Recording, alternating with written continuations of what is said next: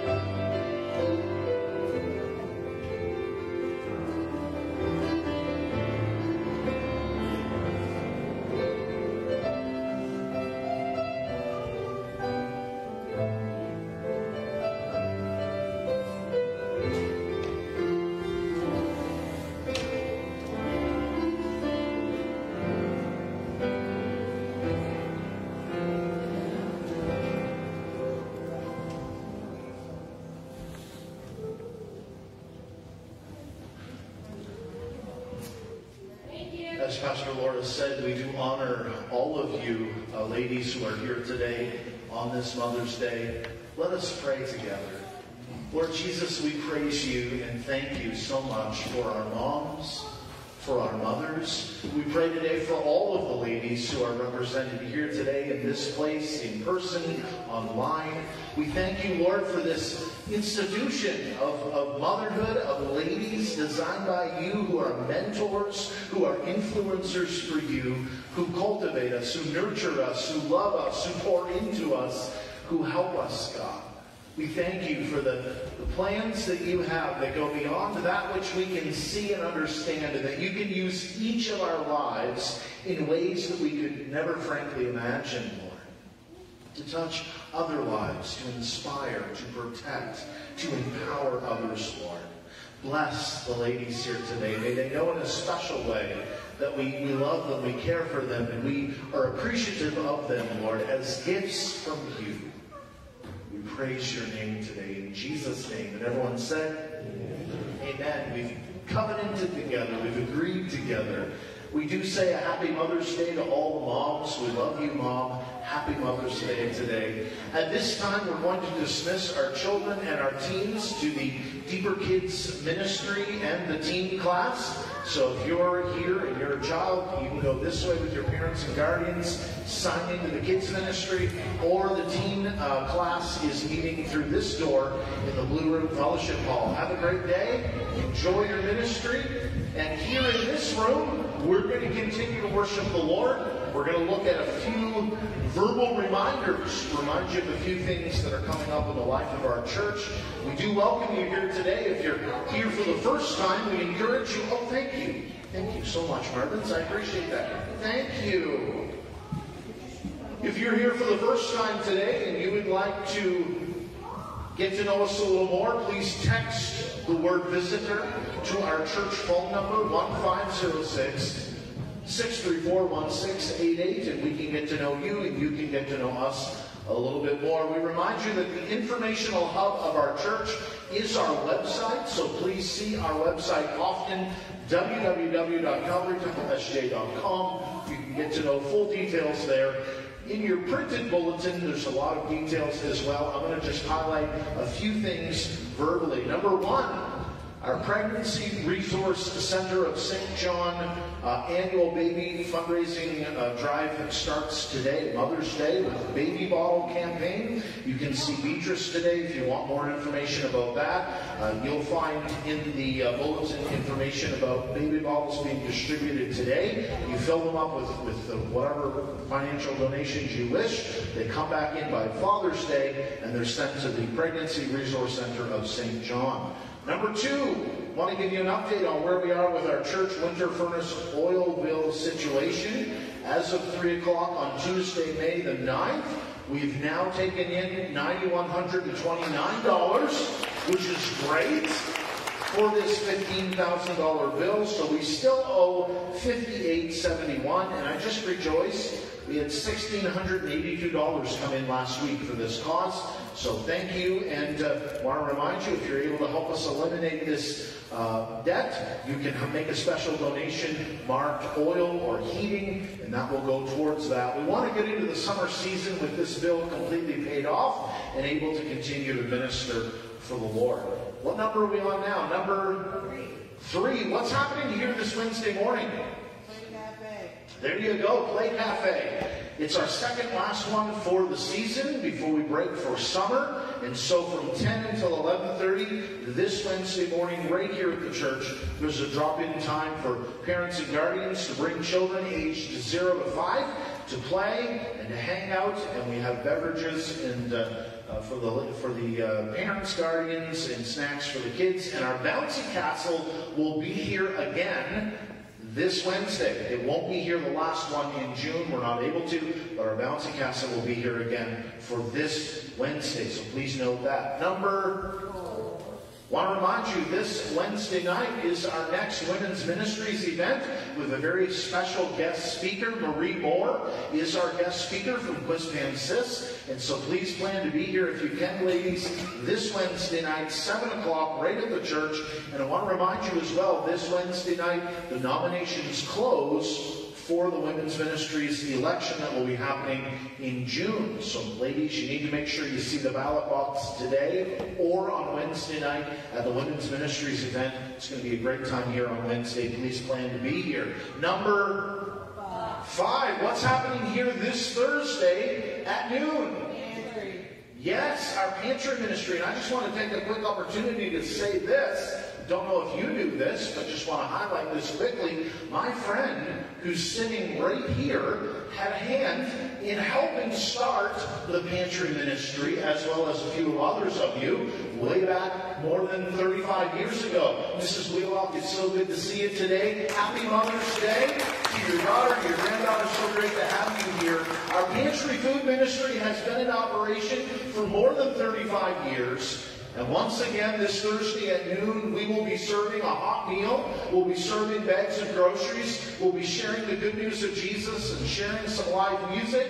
And we are so pleased to have the wonderful privilege of serving the Lord through the pantry ministry. So if you're free this Thursday and want to help out, stop by or help us with our donation table. There's a lot of food items there. Thank you for bringing that in. We appreciate your help with that. I lost my place. Number six, is that the next one?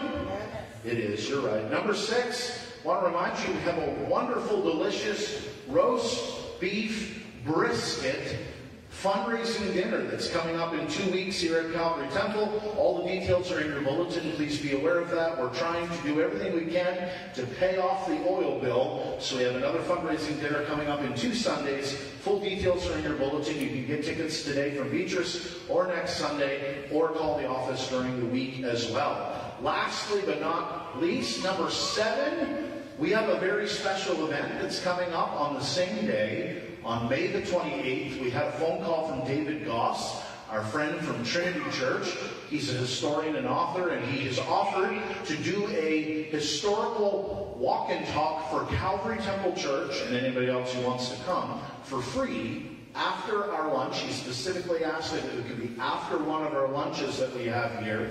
And it will happen in the Uptown, and he'll be highlighting some different stories about the Uptown, and he's hoping to mention a few things about some churches as well. That's happening at 1 o'clock on Sunday, May the 28th, starting right here at Calvary Temple. It is a two kilometer trek through the uptown, and uh, it'll be a wonderful time together. So if you can plan to come, just plan to spend half the afternoon with us. Come to church, have lunch, and then go for the historical walk. If it's inclement weather, it will still be happening, but we'll be in the church, sitting down, listening to his stories, and seeing his pictures, which he can show on the screen. So please plan to be a part of this. It's completely free, and it's a great opportunity to learn more about our city. And I'll just say this quickly our church was featured in a recent book about the Great Fire of St. John. Our, our site here and our current church building was mentioned in that book, and there's some pictures. So please come if you can. It's going to be a great time. I do thank you for your faithful worship to the Lord with tithes and offerings. If you'd like to make a donation today at any time before you leave, you can do that in the donation box here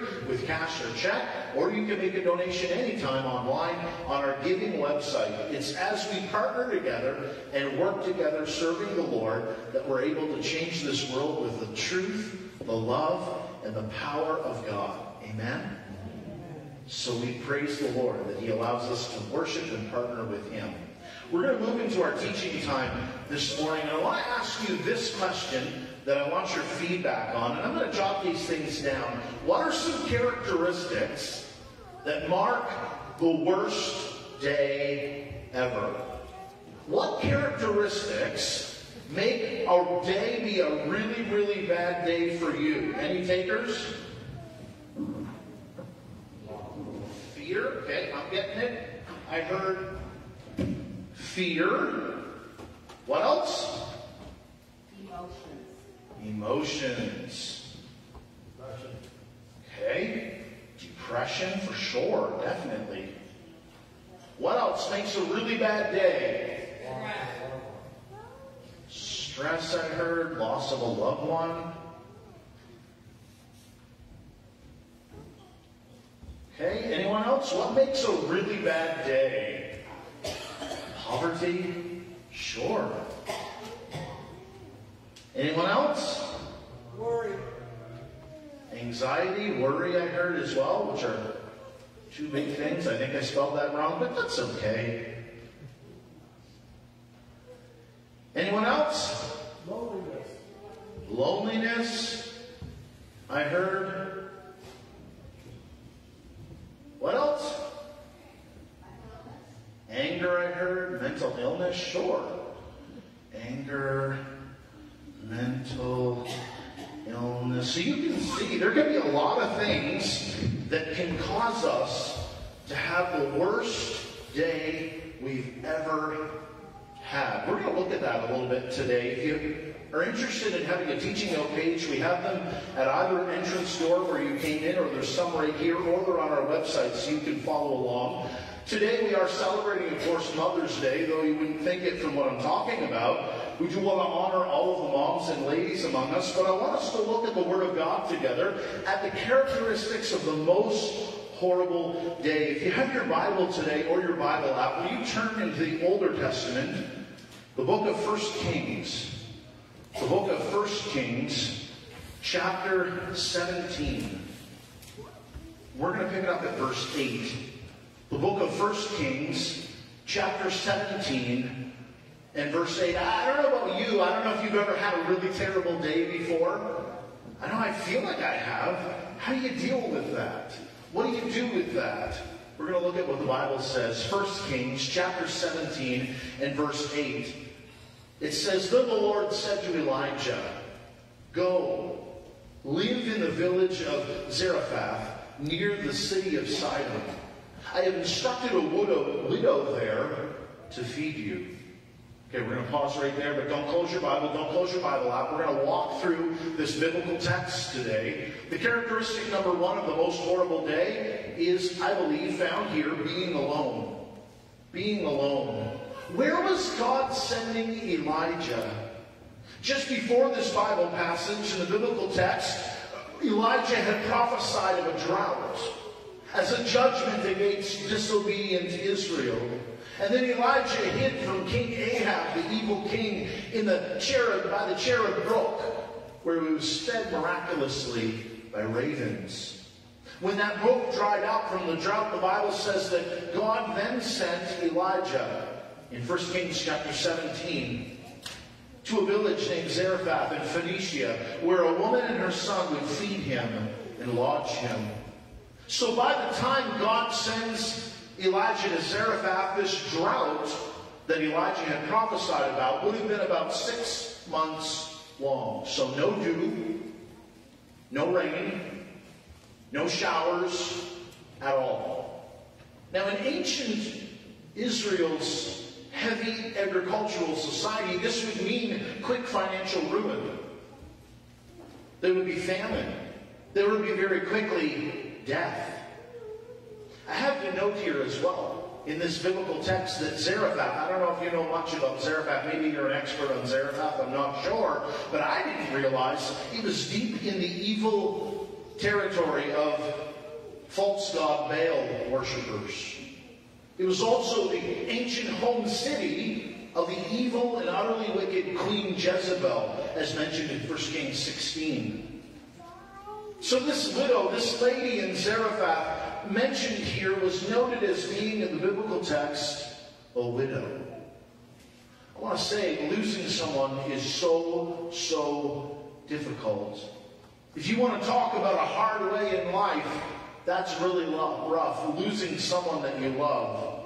Why would God ever send his spokesperson to a, a widow who's just lost someone in the middle of a drought and say she's going to feed you?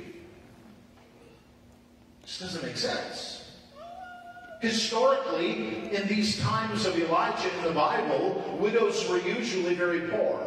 Normally, in a famine, they were the first to run out of food.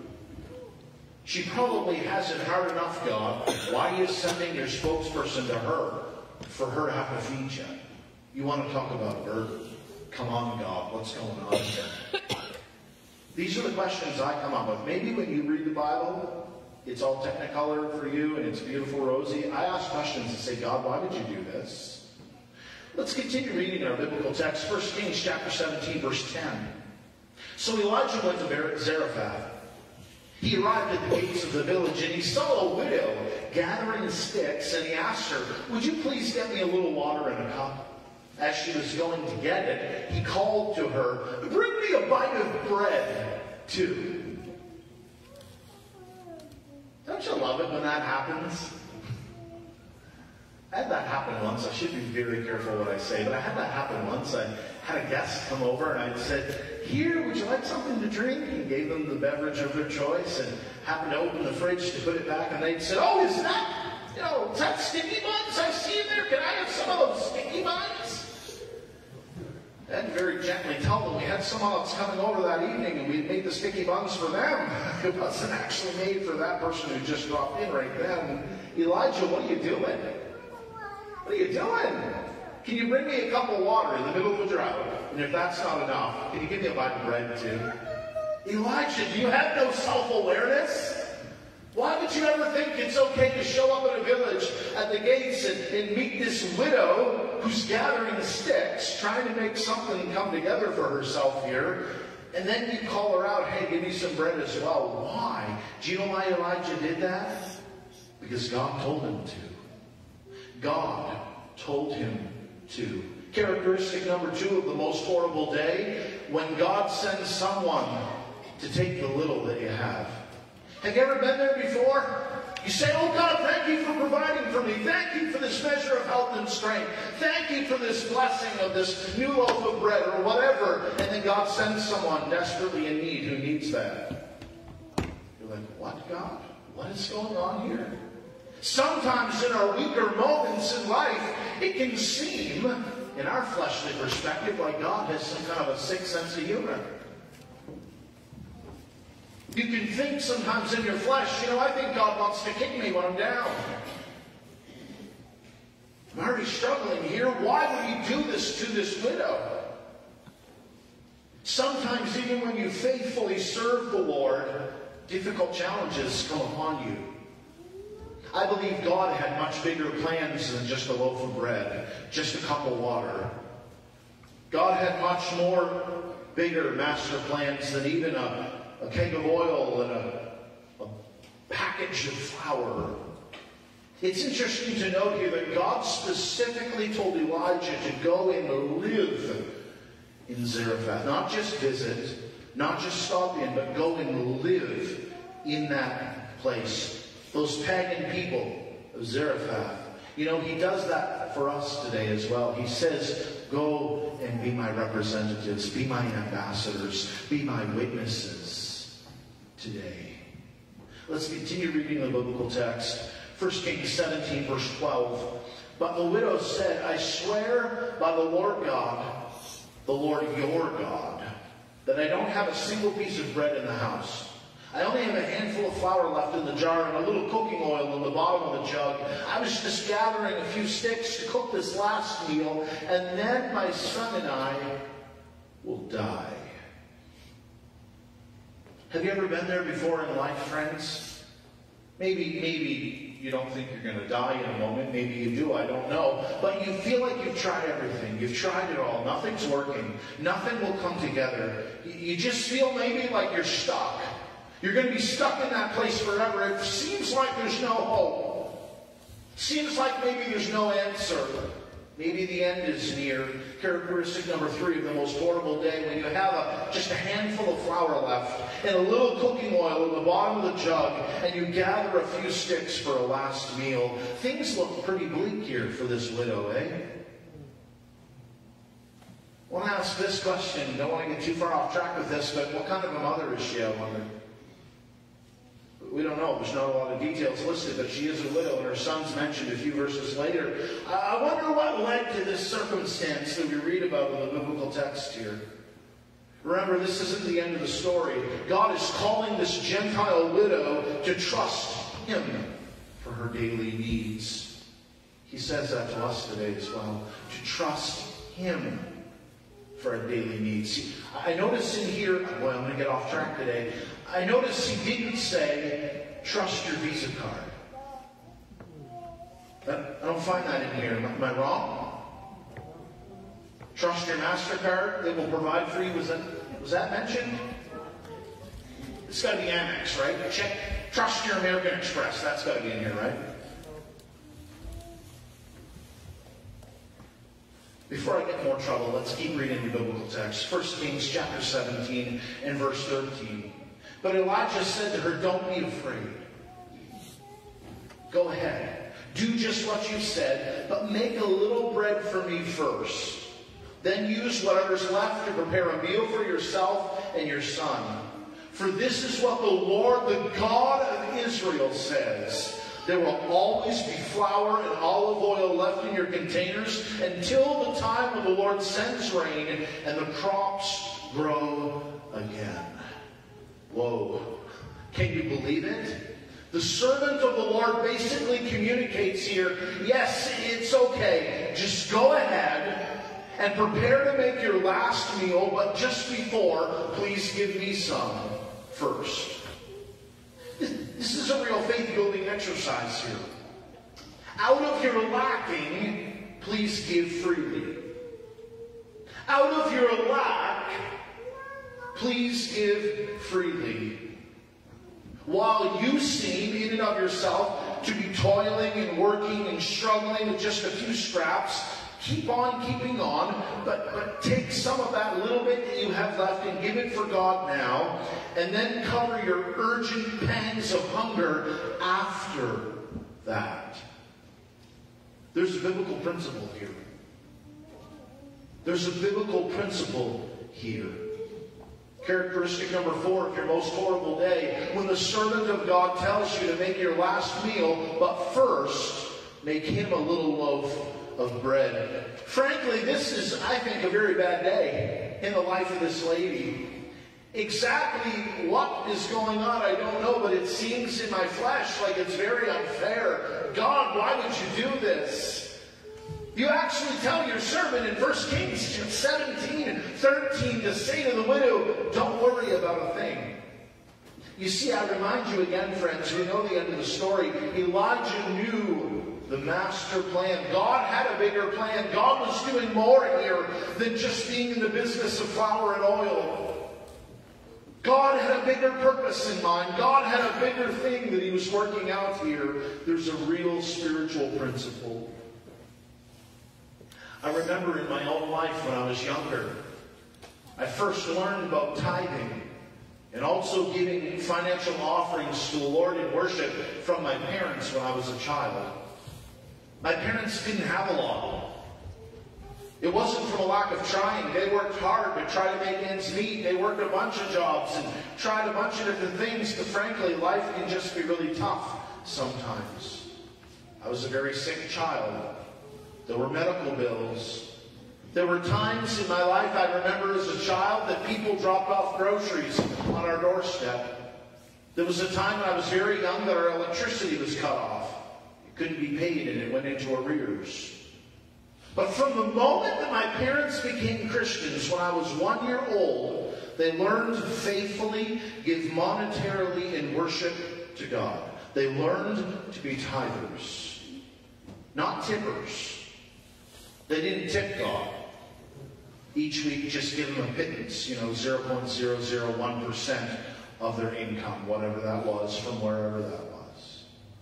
But they learned the spiritual principle of tithing. Because people say today, you know, tithing is an Old Testament principle.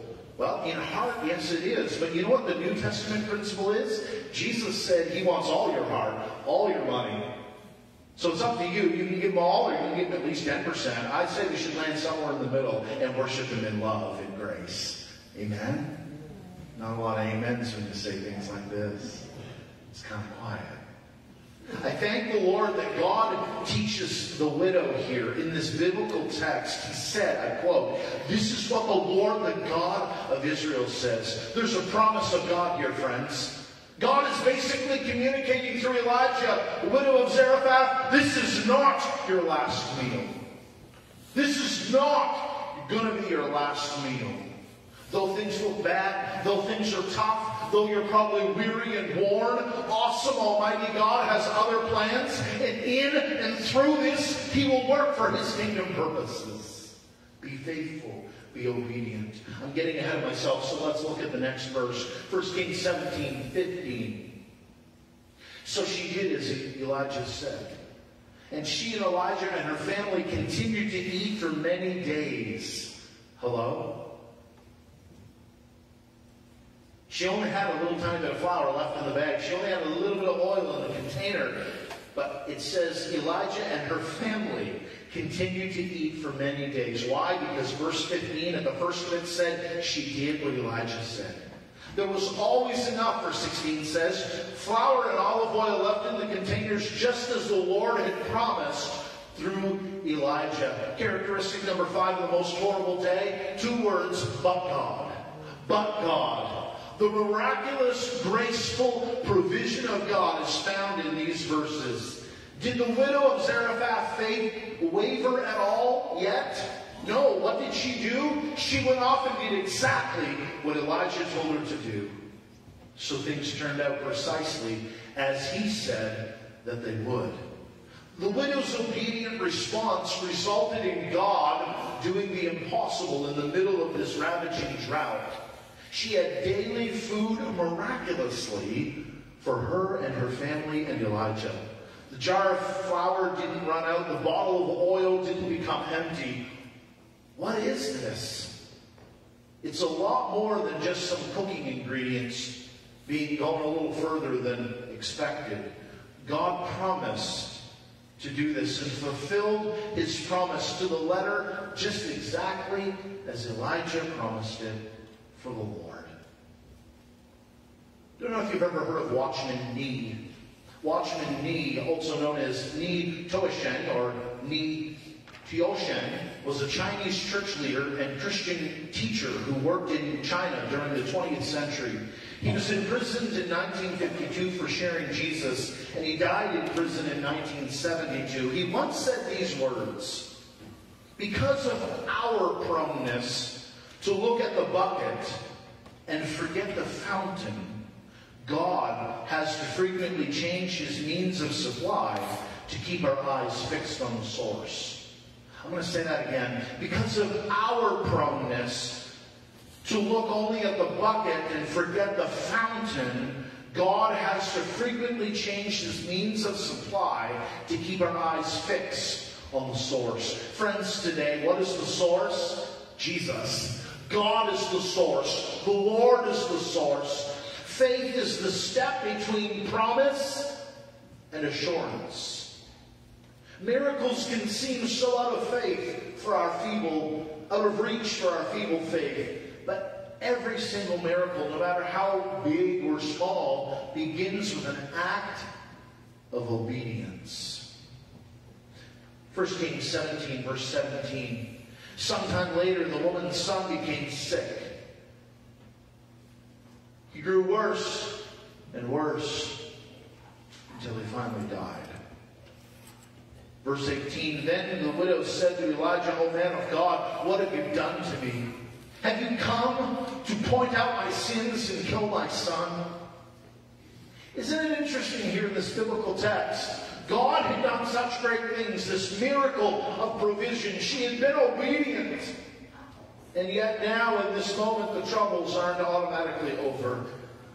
She's faced with another very difficult obstacle. Friends, today we need to learn in our own lives to depend on God, not on circumstances. I'm going to say a radical statement. We even learn to not trust in the provision of God, only in the provisions, the money, the gas in the tank, the house, the apartment, the nest egg, the family, the people. We don't lean on those things. We don't depend on those things. We don't even depend on the blessing of God in that He does provide much for us. No, no, no. We need to learn to depend on God.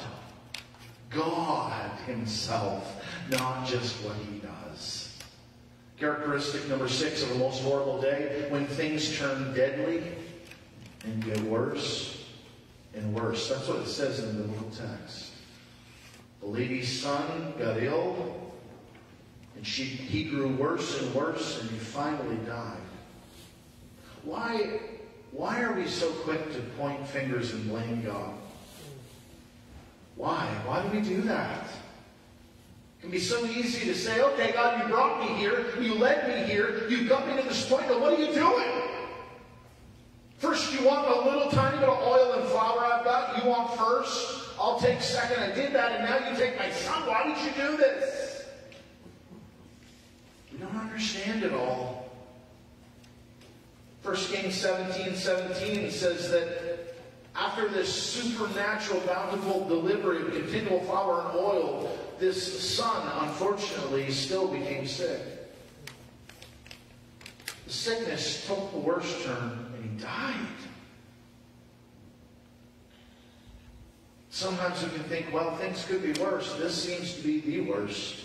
Worst case scenario for this lady. This woman of Zarephath bluntly lashed out at Elijah. Why did you show up here in the first place? Some holy man barging in. What did you do? Come to expose my sins? And now you've killed my son? How do we respond when things go horribly wrong in our earthly lives? How do we respond when things go deathly bad? Not the way we hope, not the way we prayed. How do we respond? It's a question for us to think about. 1 Kings 17, 19, but Elijah replied, Give me your son. And he took the child's body from her arms, carried him up the stairs to the room where he was staying, and he laid the body on the bed. Then Elijah cried out to the Lord, O Lord my God, why have you brought this tragedy to this widow who has opened her home to me, causing her son to die? I see very honest words here, friends. I, I, believe truly that Elijah genuinely struggled here in his humanity. God, why would you do this? It must have been excruciatingly difficult to, to take the widow's only son, to pry him from her arms against her chest, and to carry him up to that loft where Elijah was staying. He laid him out on the bed and he struggled. He said, Why have you done this, God? Even Elijah asked, Why, Lord? Characteristic number seven of the most horrible day, you ask, Why have you done this, Lord? Why have you done this, God? In your own life, you ask, Why have you done this, God? I don't understand. These verses remind me that it's okay to feel pain. It's okay to even struggle and to ask God, What is going on? God, I don't understand your complete design. But in the midst of it, we must call out to God. Don't turn in anger and bitterness from God. Don't stay in a place of anger. But turn to the Lord and say, God, I don't understand what's going on here. Now, I, I praise the Lord that in this instance, in this biblical text, this isn't the end. There's a verse 21. Look at it. 1 Kings 17, 21. And so Elijah stretched him out over, stretched himself out over the child three times and cried out to the Lord, O Lord my God, please let this child's life return to him. And the Lord heard Elijah's prayer. And the life of the child returned and he revived. And then Elijah brought him up out of that room, down the stairs, and gave him to his mother and said, Look, your son is alive. And the woman told Elijah, Now I know for sure that you are a man of God and that the Lord truly speaks through you. I wonder why Elijah had to stretch himself out full length over the boy three times, the Bible says. I can tell you this much I see here persistence in this prayer. Do we call out to God like that, persistent in our prayers? Jesus talks about that, about being persistent, desperate, hungry, single minded. Did you notice that the biblical account here specifically lists that Elijah prayed with all of his might? Then God shows up in the middle of this drought, in the center of this fake God Baal worshiping place, among the deadness of this widow's home in the backwater of Zarephath village. God listened to Elijah's prayer and he chose to act, to breathe supernatural life within his being. And the boy was suddenly alive. Did you know, I didn't know this until this week, did you know that this is the first instance recorded in the Bible of someone being raised from the dead? Did you know that? I did not know that. This is it. These three miracles of the flour never ending, the oil never ending, the boy's resurrection, strikingly manifest God's glory and God's love.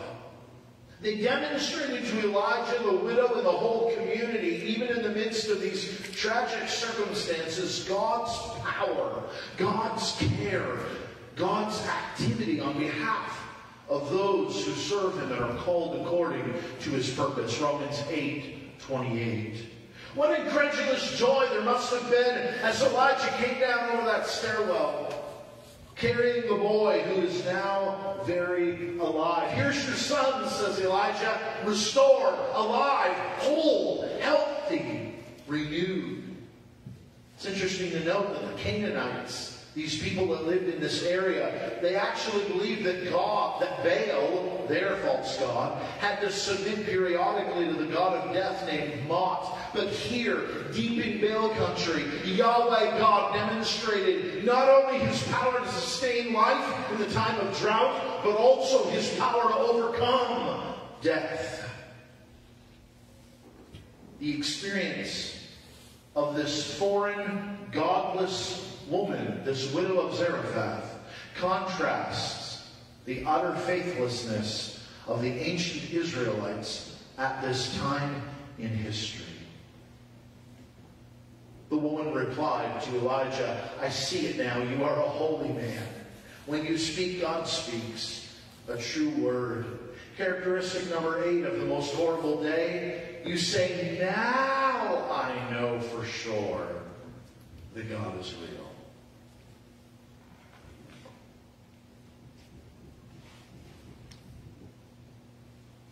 Gospel of Mark, chapter 9. Jesus similarly healed a little boy who was demon possessed. And in verse 24 of Mark 9, the father of the boy cried out, I do believe, but help me overcome my unbelief. Friends, today may we believe God. May we trust God. May we depend on God. Not as a sideshow distraction, not as an occasional hobby, not as a 10.30 to 11.30 Sunday morning time slot, but as the master, the Savior, the healer, awesome creator, almighty God. In the Gospel of John, chapter 20 and verse 27, the resurrected Christ shows his, his wounds from the cross to his doubting disciple Thomas. Jesus said, Put your finger here. Look at my hands. Put your hand into the wound in my side. Don't be faithless any longer. Believe. Believe. And Thomas exclaimed, Oh, my Lord, my God. But Jesus told him these words in response You believe because you've seen me. Blessed are those who believe without seeing.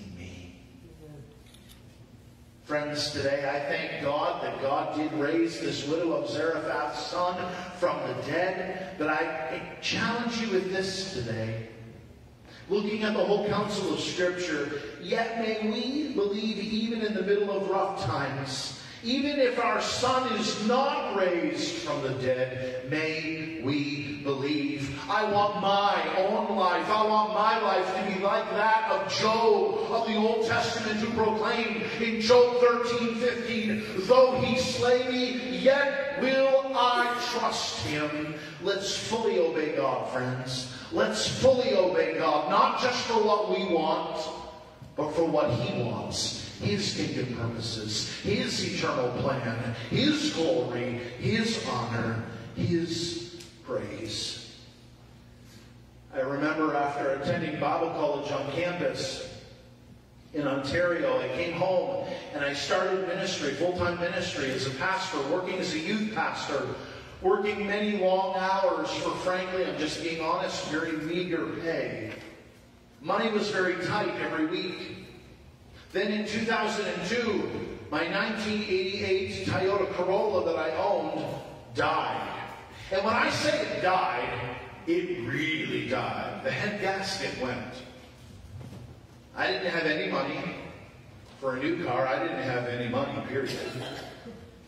You know what's interesting? Through God's purposes and plan, don't have time to tell you the whole story now, but God ended up providing, miraculously, opening doors, and providing me a car that was reliable and worked well. And through all of that, he taught me to trust him for my daily provision. Most of us, let's be honest, okay? We're family here. Most of us would probably rather if God provided in abundance long before our resources were depleted rather than just enough for every day right? Let's be honest. Wouldn't it be great if your bank account was full, you had a nice car in the yard, and, you know, the new roof on the house, and everything's going good. You're like, thank you, God, for providing for me. It's great. It, it probably would be more fun to do that than have to trust Him urgently in the middle of crisis. Urgently, we need this. Oh, God, help us with this tough spot. Our loving Heavenly Father whispers us into the heart of hearts, and He says these two words.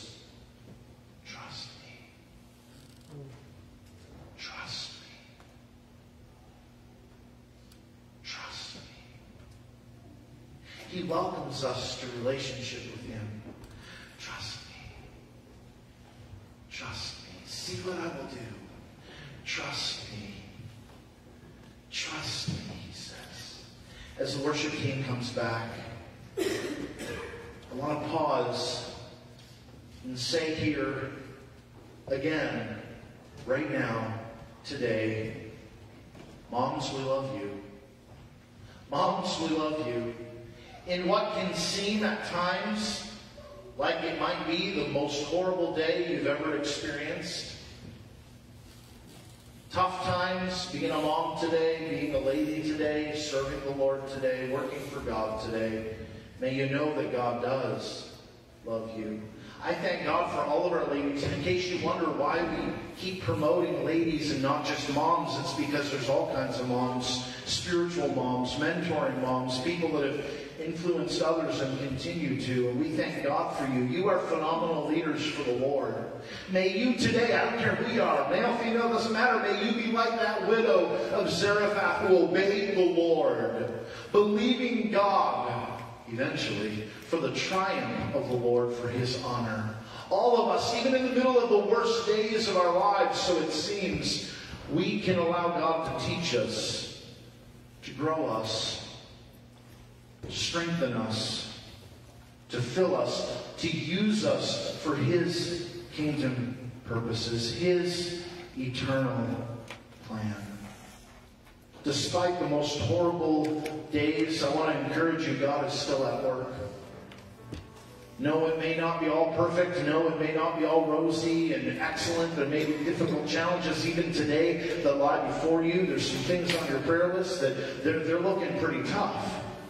There's some things coming up on the calendar, and you frankly don't know how it's going to work out. I just want to encourage you God's not done. God's not done. God's not done. The Lord God Yahweh, the Lord God Jehovah, Jesus, He's still working.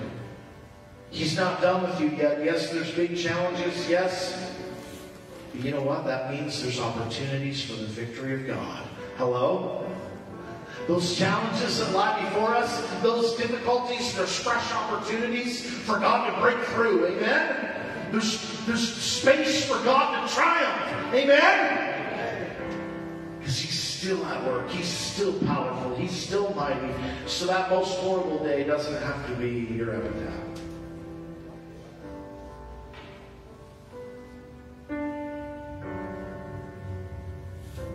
May we trust God. May we depend on God. Give Him your little tiny bit of flour, okay? Give him that little bit of oil. Give him your son who's dead. See what he will do.